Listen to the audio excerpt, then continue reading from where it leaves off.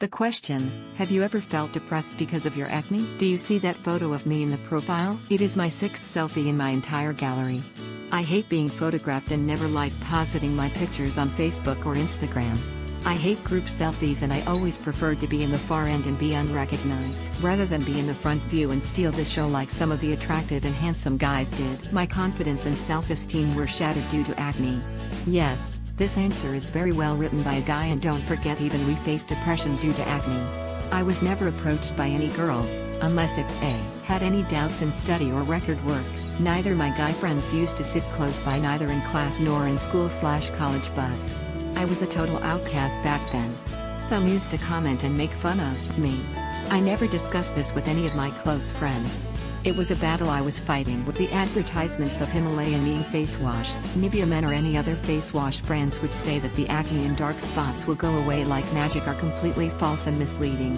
I have tried all of them. None of them ever caused any improvement. Doctor's appointments were by far the worst. All medicines and chemical ointments to control the oil and acne eruptions were good only for a short time and also had side effects. I stopped going for further consultations. Please don't try your own medications by watching TV it's always better to consult and use.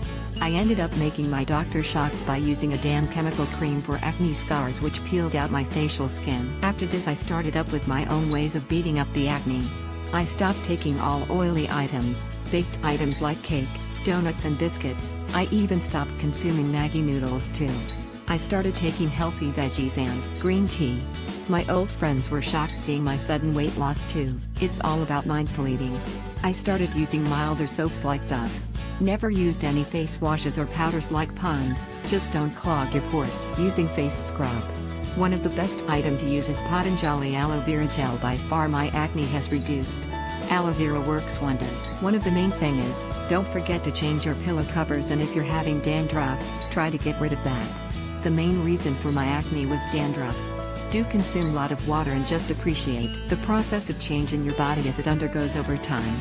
That's the key to reducing acne. By the way my acne has not reduced to a complete 100% but it is under control.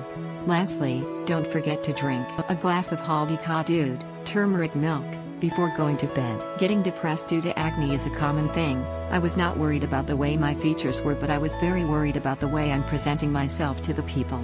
Everyone dreams of looking neat.